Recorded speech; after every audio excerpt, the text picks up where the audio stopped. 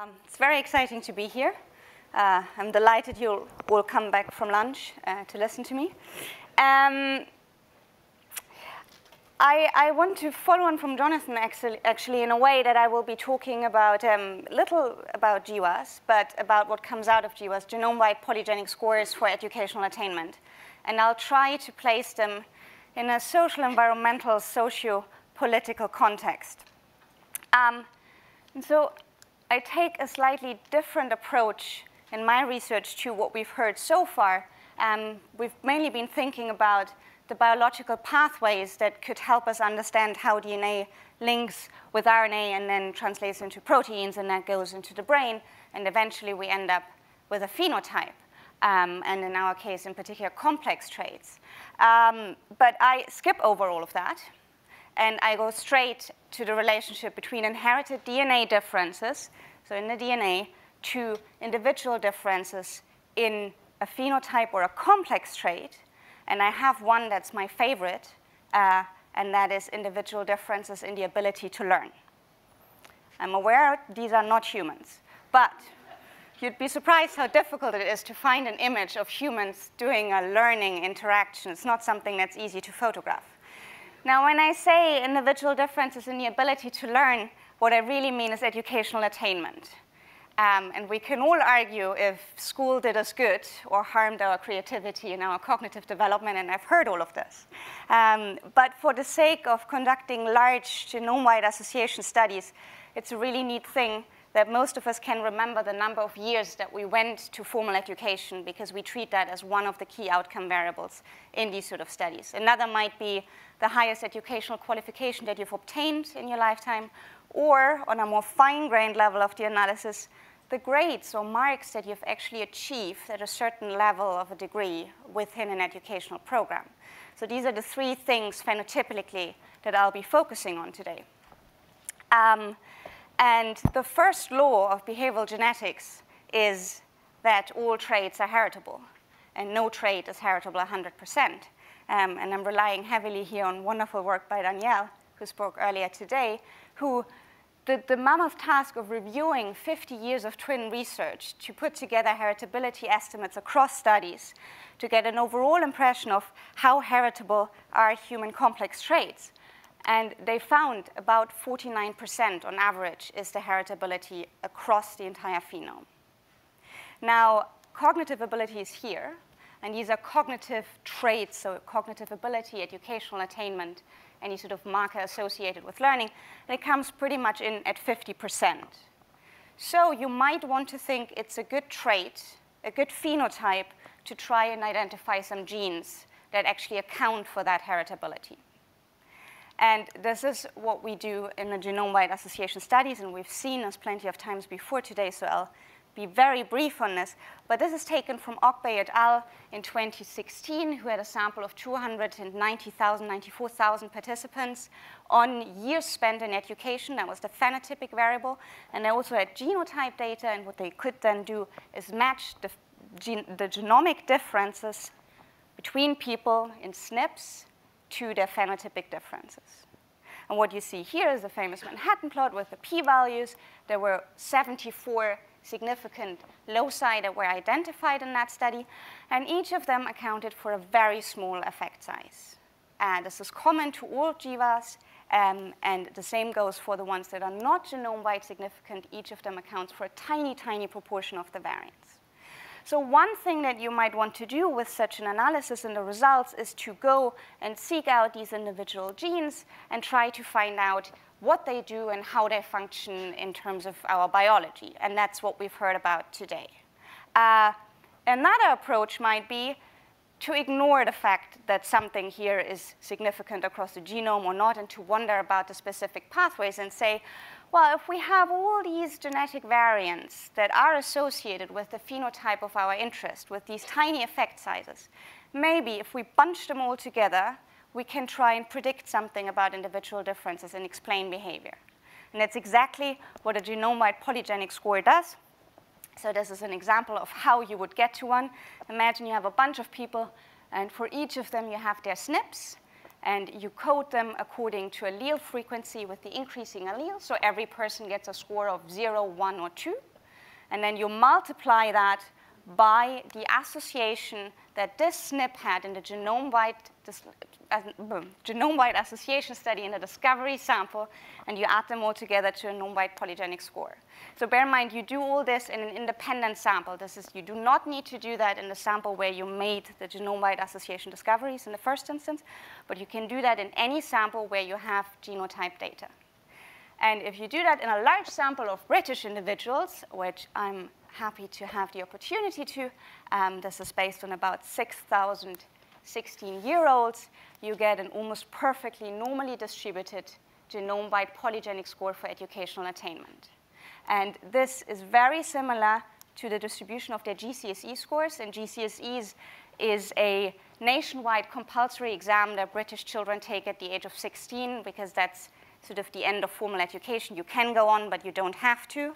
Uh, so that is a pretty good marker of, of cognitive ability in the country.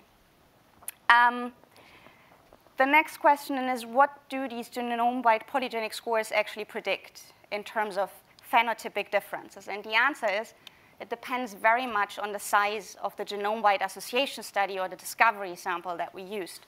So this is plotted um, six different GWAS and genome-wide polygenic scores based on different GWAS analysis. And you have at the bottom the sample size increasing with 1 million at the end here. And you have the percentage of variance explained here in the phenotypic observation.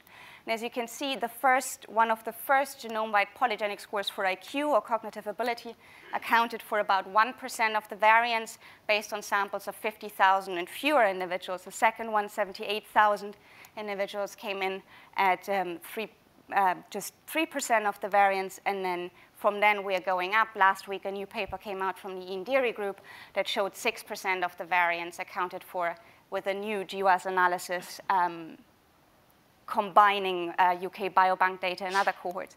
For educational attainment, we account for just about 2% of the variance with the latest published genome-wide association study um, 294,000 people.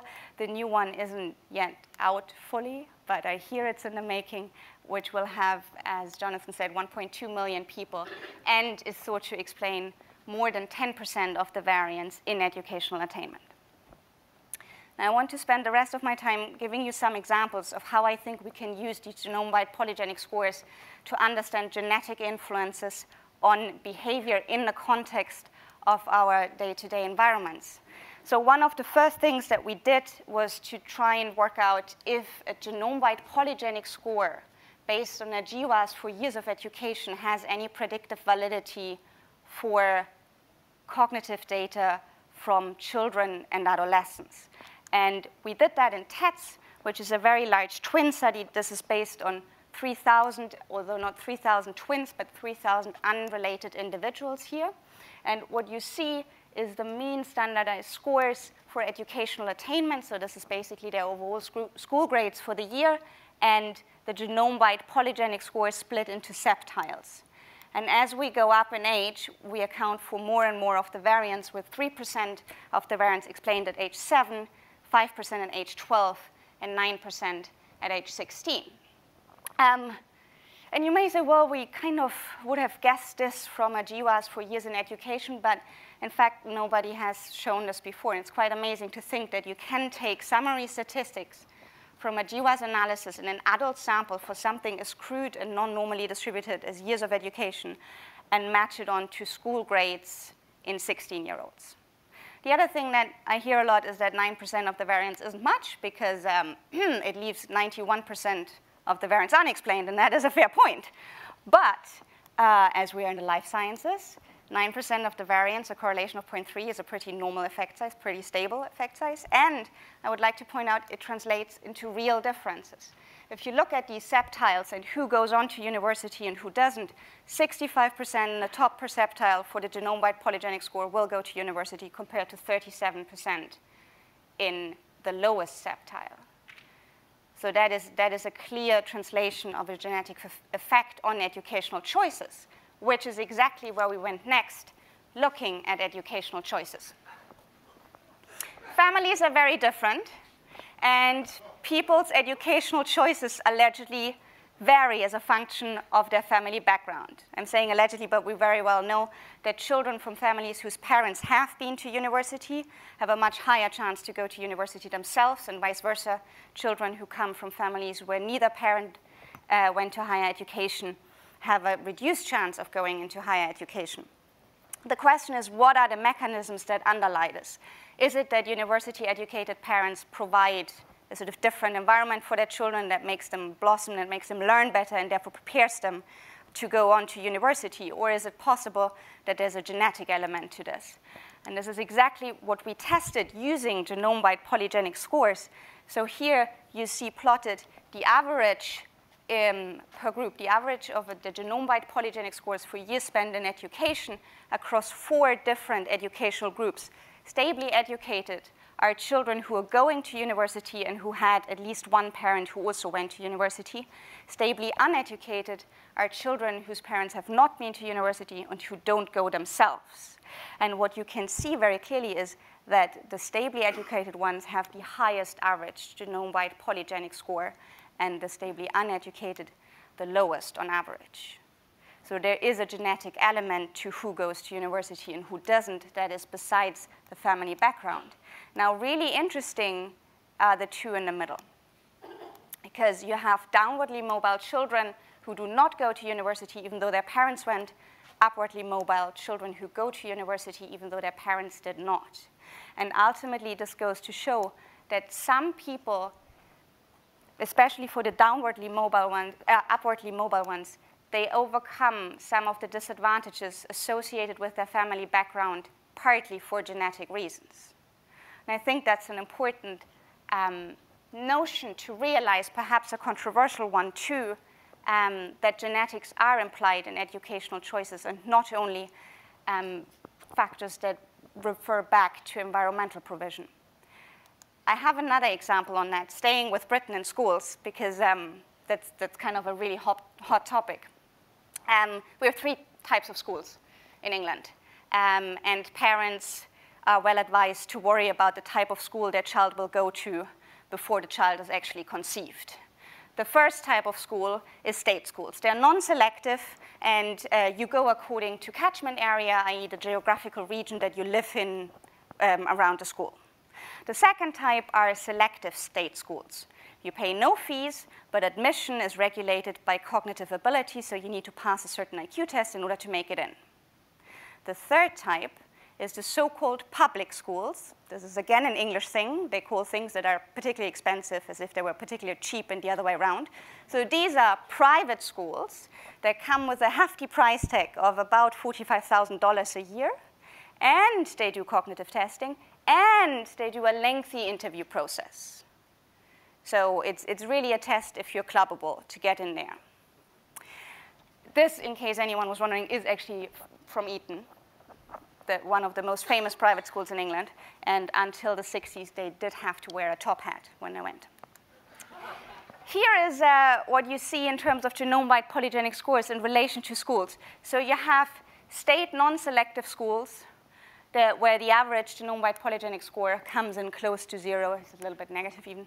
Uh, you have the selective grammar schools. So these are the ones that select according to cognitive ability test scores, and then the private selective schools. And you can see the average genome-wide polygenic score is much higher in those two. What you should also see very clearly is that there's a difference in achievement in the final year exam. So again, this is age 16 at the end of compulsory schooling GCSE examination according to school. I apologize, we flipped over the colors here. This is a small, um, just checking that everybody's still here. But the order of the schools is the same. So the light, light gray bar is the state non-selective schools, turquoise is the grammar schools, and the darkest bar is the um, private selected schools. And you can see that those schools that select significantly also the children score much higher on average on GCSEs. Right, so far so good. But the question is, is it because of the school? Did these expensive private schools and the very nice selective state schools, do they do something different with the kids that makes them perform so much better when it comes to age 16 exams? And I have to say, these are really important because they drive the decision if you go on to A levels, and A levels is your key into university. So it's, it's not an arbitrary exam that you just sit at some point. It has lifelong implications for what you're going to do next in terms of educational choices. This is what happens once we control for the selection criteria that these schools use to admit students. The difference in scores disappears and becomes non-significant. So this is for every parent considering sending their children to private education. It's not really worth it. They take in the best, and of course the best come out at the end, but it's not the school provision that makes the massive difference. Um, I have one more example about thinking um, about the influence of genome-wide polygenic scores and educational attainment in the context of specific environmental differences, not school types, but here uh, we're using a large socio-political change as they happen every now and then in history, and we call them quasi-natural experiments. And the one that I mean here in particular is uh, the end of the Soviet Union, or the Soviet era compared to the post-Soviet era. And this is, um, this is taken in Estonia and it's a, it's a picture of the Baltic chain, um, which was a peaceful demonstration uh, actually in 1989, so two years before the official end. Um, and we are working with a group from Estonia here, a large biobank that um, has eventually will have 52,000 people with uh, genotype data, but these analyses are based on a subsample of 12,000 individuals. And what we did was we wondered if we should see differences in the association between genome-wide polygenic scores and educational attainment and occupational success in the Soviet era compared to the post-Soviet era, because we would assume that some things in the environment have changed in the post-Soviet era. In particular, the post-Soviet era is more likely to have adhered to democratic, uh, to meritocratic principles in the allocation of education opportunities. In other words, post-Soviet uh, children who went to school in, in the post-Soviet era would have made their educational choices much more in line with their cognitive abilities than it was the case during the Soviet era, where you might want to say in a very generalistic, polemic way that admission to university was a function of party membership rather than of actual ability. And we have the opportunity in the sample to try this because uh, the vast majority was born um, before 1981. And so we would assume that people who were aged 10 or more at the time when the Soviet Union ended made the majority of their educational choices in a time that was influenced by the Soviet era politics, whereas those younger than 10 um, when, when the Soviet um, Union ended, would have made their choices in this very different world. And this is exactly what we see. Here we use the genome-wide polygenic scores for years spent in education to predict EA, educational attainment, so the highest educational qualification that somebody has attained, and occupational status. And S stands for Soviet era, PS is post-Soviet era. So the red bars signify the strength of association between the genome-wide polygenic scores for years spent in education and educational attainment and occupational status during the Soviet era. Um, the light blue bars are what happens in the post-Soviet era. And what you can see is that the predictive validity goes up to 6% compared to 2% in the Soviet era. Now, this would be an example for a significant gene-environment interaction. These are very difficult to track. We, we try a lot um, because ultimately um, in individual differences research, we are convinced that it is the gene-environment interplay that will finally help us to understand why people are so different in their development. But in many cases, environment and genetic predisposition are correlated, and that makes it difficult to detect interactions, whereas here, with this massive change for an entire population, you don't have the correlation problem. However, the reason for the change is a complete interpretation of mine and highly speculative. I cannot prove what changed in the environment from the Soviet era to the post-Soviet era that led to the increase in heritability. It could be thousands of different things. And in particular, this sort of analysis makes it impossible to detect a specific environmental element. which is why I think we should think about studying the environment in order to advance the understanding of genetics for complex traits. Because if you think about how much we know about genetics and DNA, it's an awful lot compared to the environment. We know how DNA translates into RNA and how that codes for proteins, but we don't know that for a single environmental variable or experience. We also, we, we know SNPs, and we think of them as a unit or a small, um, yeah, a small unit of, of variance, um, perhaps a small unit of DNA variance, but we don't know the smallest unit of the environment to match it against, which kind of makes it difficult to study gene-environment interactions. So in my lab, we use a bunch of new uh, technologies that help us getting a better idea about the environment that surrounds people. In particular, we are interested in early life development and the sort of environments that children are exposed to. And so, for example, we use um, digital language recorders that record everything that a child has heard in a six-foot radius over the course of a day. And you may want to take to, this, uh, to these data the same a-theoretical approach as we do to GWAS, and just chuck it all together in analysis and see if you get significant hits for a specific word that is associated with children's own verbal development or their cognitive abilities. Another thing that we use, that was also mentioned before, uh, smartphones to do experience sampling. Um, in particular, we thought this might be useful to study uh, dietary patterns, which we know from psychological studies are meant to be associated with well-being, uh, mental health, and children's development, but it's been always very difficult to track them exactly in their precise way as they're happening. And that is pretty much all that I had to say on this. Um, I'm hoping I've made two things clear, if nothing else. One, genome-wide polygenic scores are really useful predictors already for behavior, but they will become even more important for understanding the genetics of complex traits when they help us to disentangle the gene-environment interplay. Thank you very much.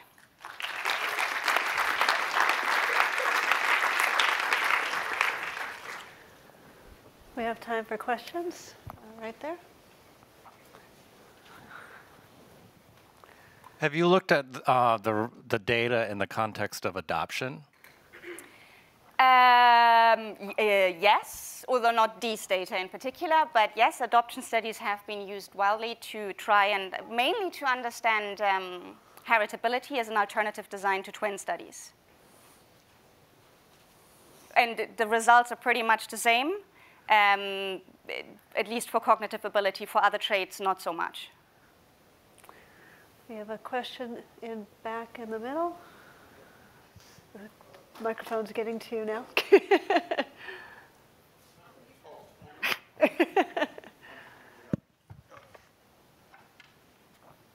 there you go. When you're tracking these genes, or uh, some are methylated uh, at particular periods of time or particular uh, environmental factors or whatever. Uh, how do you track that, or is that a consideration in terms of your analysis? Um, uh, we don't track that, and it's not a consideration in our analysis uh, because we're not really looking at gene expression, but we're looking at inherited DNA differences, and those are not affected by these factors. We have a question down here in front. And there's I would have predicted that the in the school sample that the upwardly mobile cohort would be the one that would show most clearly the influence of genetic traits. And yet that isn't the case. In fact, they were less influenced than the downwardly mobile. Can you comment on any of that? Well, um, uh, it's true. Um, I, I, have heard this before that um, the effect sizes are actually smaller than expected. At the same time, uh, for starters, I think the genome-wide polygenic scores that we have so far do not capture all of the variants. So that picture is going to change, I think, as we get bigger and more reliable GWAS and therefore get better scores. Um, on the other hand, of course, educational choices are not only a matter of genetics. So it makes a good sense to see a shared environmental effect or a family effect here um, that may account even for a greater amount of variance at this point. However, the finding that some children will go to university because of their genetic propensities um, is, is still um, the one that stands out in these analyses, I think. We have another question in the back. A, a comment on that previous question and answer. So in, in my talk this afternoon, I will show a slide from a, the Dunedin study, longitudinal study in New Zealand, which does actually show within an SES bracket, upward mobility is positively correlated with superior PGS, and downward mobility is uh, correlated with below average PGS. So the effect that one expects is actually seen in that data set. Mm -hmm. Which I would expect is very similar to that, just that it wasn't expressed in a correlation. But it's essentially, if you correlate it, you will come to the same result if you treat the, the education categories by family as a, as a continuous variable, or you code them into up and down. Yes. Uh, one other question?